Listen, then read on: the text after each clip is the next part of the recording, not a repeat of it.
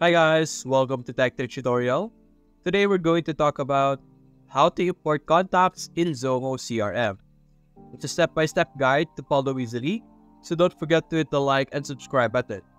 Let's dive right in. Now to be able to import contacts in Zoho CRM, you're going to have to access your contacts. To be able to do it, you're going to have to click this contacts option that you have over here on the top. You can see it over here Simply select this, and then you will be redirected to the contacts page. In this page, uh, you will be able to see the option create contact over here. Let's zoom in a bit. There we go.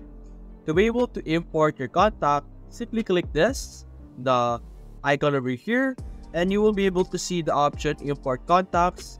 Simply select that, and you will be redirected again to another page wherein you will be able to import the contacts. As you can see, you can import it from a file, which is usually CSV or XLSX, or you could also import it from other CRM.